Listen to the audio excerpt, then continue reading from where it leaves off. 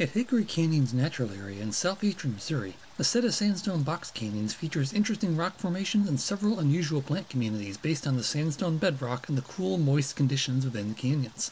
Some species are quite rare in Missouri and may represent holdouts from glacial climates. This is a great place for a scenic hike, with its waterfalls, sandstone cliffs, diverse vegetation, and clear flowing streams. Follow along as we explore the geology and nature of this special area in a bit more detail. The area straddles a ridgeline, with trails descending from a central parking area into steep valleys on either side. The eastern trail descends into a tight box canyon headed by a tall waterfall, while the western trail loops down through rock bluffs defining a fern lined, clear flowing stream. But what's so special about the rocks forming this landscape? A geologic map like this shows where different bedrock formations appear at the surface. There are three primary formations in this area, we're going to ignore the more complex stuff at upper right, because it's not directly relevant. Hickory Canyons occurs entirely within what's called the Lamotte Sandstone. Looking closely at the rock, you can clearly see rounded quartz sand grains and pebbles, as well as angular features called crossbedding, which we'll return to in a minute. This sandstone is over 500 million years old, but the rocks beneath that are over twice that age. Ancient erosion of these Precambrian igneous rocks provided the raw material for what became the Lamotte sandstone, which was deposited over the old erosional surface. Although the older basement rock is exposed in a few places by modern erosion, this doesn't actually occur at Hickory Canyons, which is mapped as all sandstone. But it's worth recognizing where this sandstone comes from, and if you want to see the basement rock and delve deeper into this relationship, visit Hawn State Park just to the south and check out our video on the Pickle Creek Trail there.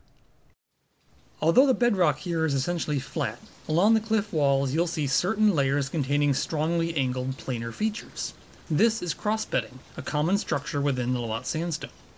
This forms when flowing currents deposit sediments along the downstream side of ripples or dunes. These structures preserve evidence of the water driven transport and deposition of material eroded from the old basement rocks, forming layer after layer of sand and pebbles that eventually became the Lamotte sandstone. These sandstone outcrops are fun to explore, with their bluff shelters, crossbedding, and other interesting geologic features. But they also host a variety of interesting plant habitats. Shaded areas along rock ledges, fed by wet seeps, support various rare plants that prefer cooler climates than are normally found in Missouri. Let's focus on just one example.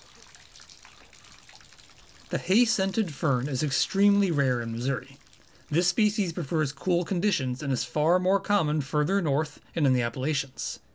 When we worked at Shenandoah National Park in Virginia almost 20 years ago, these ferns carpeted forest floors in the mountains, as in this more recent iNaturalist image from even further north in Massachusetts.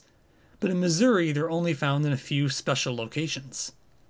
One explanation for this is that such plants represent isolated remnants from a previous glacial period, when Missouri's climate more closely resembled that of a northern boreal forest. As temperatures warmed, cold loving plants like the hay scented fern may have retreated into isolated areas like Hickory Canyons with the right combination of bedrock, topography, and hydrology to provide cool, moist conditions. Just to be clear, don't assume every fern you see is the hay scented fern. This habitat is great for a variety of interesting species. For a fun challenge, see how many different ferns you can distinguish. There are many other interesting and unusual plant communities here, but we can't delve into them all. You can read more about the biology of Hickory Canyons at the links below. So why are these sandstone canyon habitats so rare in Missouri? For one thing, sandstone simply isn't a very common bedrock here. Most of Missouri's terrain is formed by carbonate rocks like limestone and dolostone. The Lamotte sandstone, which seems particularly good at forming these moist canyons, only appears at the surface in a small portion of southeastern Missouri, where three different nearby natural areas host unusual sandstone based plant communities.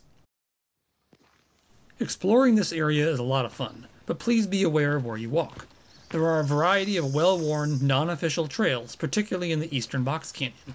These aren't signed as restricted or closed and will give you access to a lot of neat features and views, but please still keep in mind that this is a designated natural area for a reason.